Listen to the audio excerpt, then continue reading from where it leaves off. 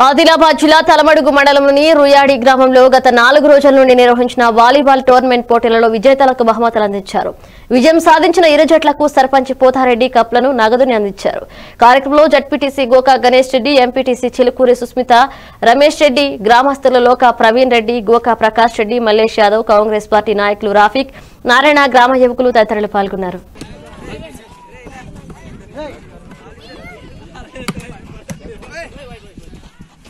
आठ आठ नीचे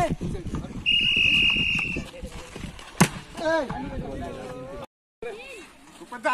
अरे समीर पटक आ पटक दे पटक दे। हाँ।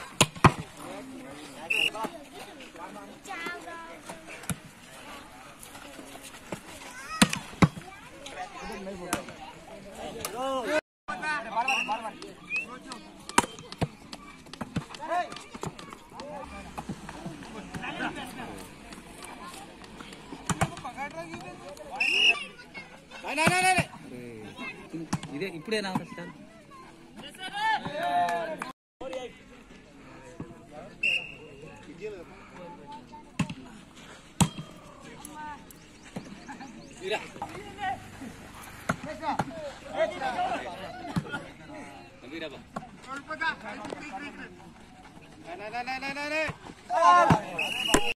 ఈరోజు రుయ్యాడి గ్రామంలో గత ఐదు రోజుల నుంచి వాలీబాల్ టోర్నమెంటు పోటీలు జరగడం జరిగినాయి.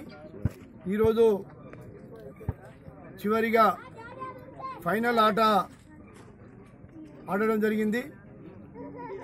ఈ ఈరోజు ఈ ప్రైజ్ డిస్ట్రిబ్యూషన్ కార్యక్రమానికి మన గ్రామ సర్పంచు గౌరవనీయులు పొద్దురెడ్డి గారికి మన ఎంపీటీసీ గౌరవనీయులు రమేష్ రెడ్డి గారికి అదేవిధంగా విద్యా కమిటీ చైర్మన్ గంగన్న గారికి ప్రవీణ్ రెడ్డి వార్డు మెంబర్ గారికి నుండి వియాడి గ్రామంలో వాలీబాల్ టోర్నమెంట్ జరగడం జరిగింది.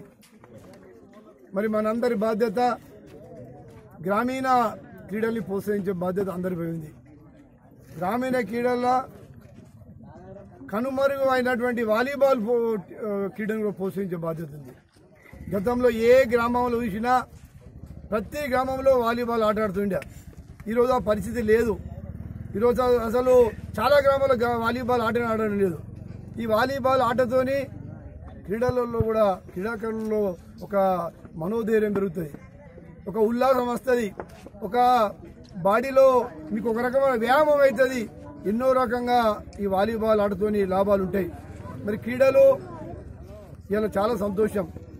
ఇలా మొదటి బహుమతి గెలుచుకున్న పార్వా జట్టు రెండో బహుమతి గెలుచుకున్న రుయాడి జట్టు రెండు క్రీడలు చూశాం. నిజంగా రుయాడి వాళ్ళు బాగా ఆడారు.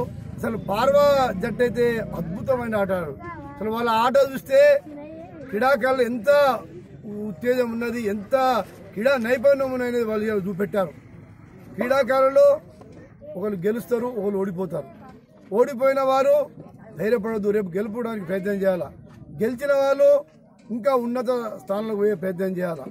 ముఖ్యంగా ఈరోజు ఈ కార్యక్రమానికి ఈ కప్పు రెండు కప్పులు మన గ్రామ సర్పంచ్ పోతారెడ్డి